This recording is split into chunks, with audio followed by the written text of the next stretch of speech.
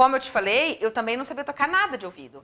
Eu estudei sempre pelo ensino tradicional e eu me formei e estudei 10 anos no conservatório, me formei no curso técnico de piano e não tocava nada de ouvido. Eu não nem tinha ideia, assim, ouvido de timbres, ouvido harmônico, eu não tinha a menor ideia. Inclusive, essa falta desse ouvido harmônico é, impactava uma outra habilidade minha, que era a questão da memorização.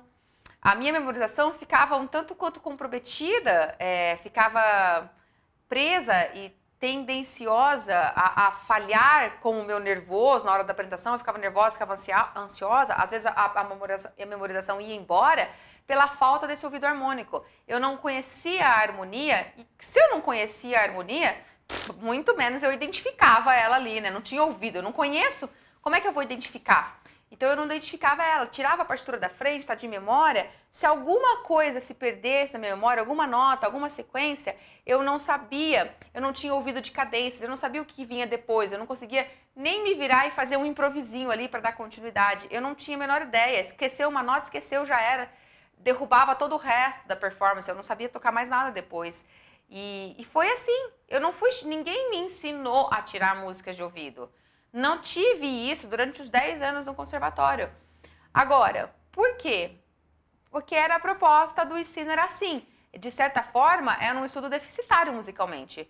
De certa forma, não. Era um estudo deficitário musicalmente, porque era, foi nutrido em mim, durante toda essa formação de 10 anos iniciais de, tudo, de estudo, que é bastante tempo, foi nutrida a camada técnica a camada instrumental do meu desenvolvimento musical. Eu, eu, dominava o piano tecnicamente, mas eu dominava ainda com muitas é, lacunas, com muitas coisas a serem melhoradas. A sonoridade não era boa, a interpretação não era das melhores, o refinamento da interpretação não era, porque me faltava uma, uma série de outros conhecimentos que é o que a gente adquire quando a gente nutre a nossa habilidade musical.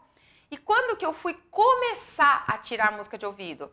Quando eu entrei na igreja para tocar, na banda, e começaram a aparecer algumas músicas para tocar que não tinha partitura. Então, na verdade, foi pela necessidade. E, e aí eu tinha que tocar lá na banda com os músicos e eu procurava a partitura dessas músicas. Imagina, naquela minha época de adolescente, eu devia ter uns 16, 17 anos.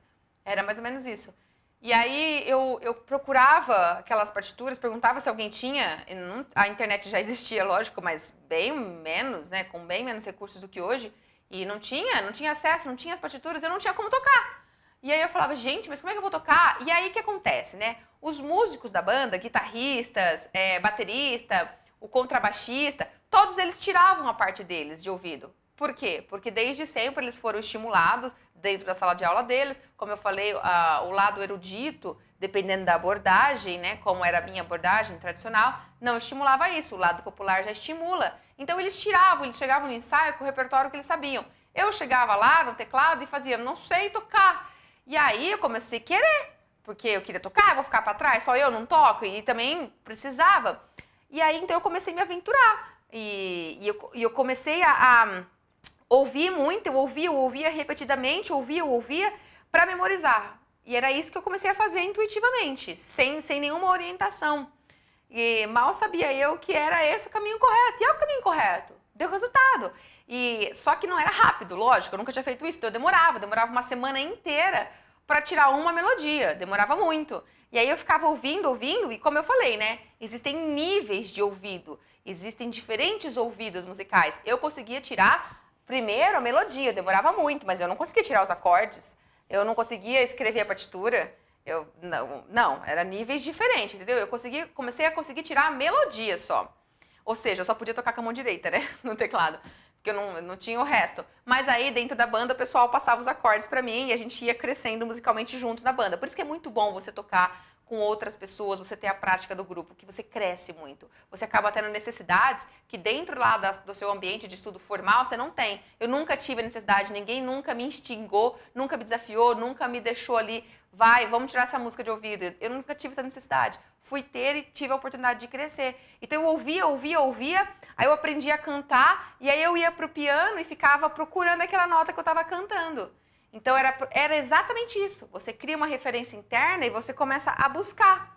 E aí eu fui buscando e ao longo de uma semana eu tirava ali, sabe? Depois, quando eu entrei na faculdade e eu comecei a nutrir cada vez mais a minha habilidade musical, comecei a tomar consciência de todo esse processo, de toda essa efervescência musical em mim, comecei a entender como as coisas se processam, comecei a ter estímulos de muito treinamento, de muito exercício auditivo dentro da faculdade, eu comecei a perceber esses outros ouvidos musicais, esses outros níveis. E aí, lógico, ano após ano, a coisa foi melhorando. Eu fui, meu ouvido foi literalmente abrindo. Como eu falei, ele vai entrando dentro da música e você vai conseguindo acessar coisas, observar coisas, reconhecer detalhes que você não ouvia antes.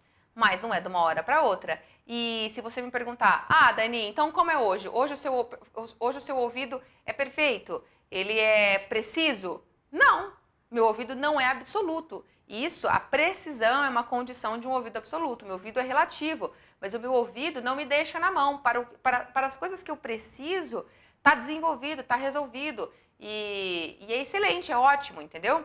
Seu ouvido pode melhorar? Pode e deve e vai. Conforme a gente vai estimulando, vai ter, a gente vai evoluir sempre na música. A gente não precisa ter a ilusão de que vai chegar uma hora que você sabe tudo. Não vai chegar essa hora. Nunca vai chegar. Se você achar que chegou, então eu te digo que você estacionou. E aí você vai parar de crescer, de verdade. Porque você achou que chegou, que você já sabe tudo.